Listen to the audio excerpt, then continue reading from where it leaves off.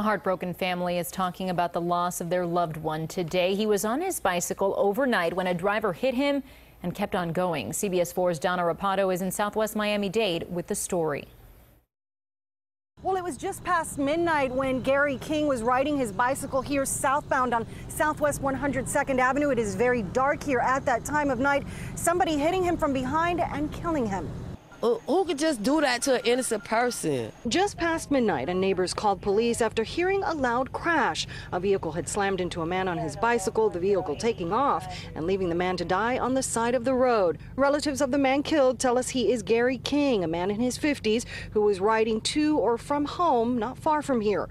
Police tell us a light colored SUV hit King's bike from behind as he rode south on Southwest 102nd Avenue at 171st Street in Perrine. The damages to the vehicle may be in the front, in the grill area, or possible um, bumper. Whatever SUV hit him has undercarriage work. King's cousin John King arrived upset and in tears, picking up crash remnants on the street, including his cousin's watch.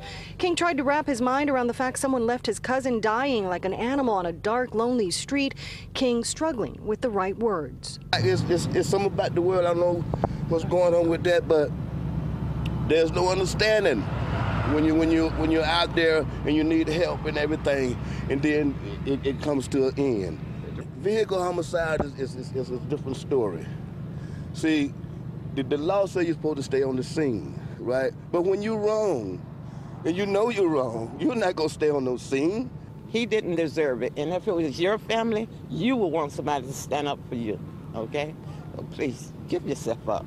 And police believe the vehicle that hit King was possibly an SUV, light in color, possibly gray. They believe it has front end damage, the bumper and the grill. If you have any information, give Miami-Dade Crime Stoppers a call.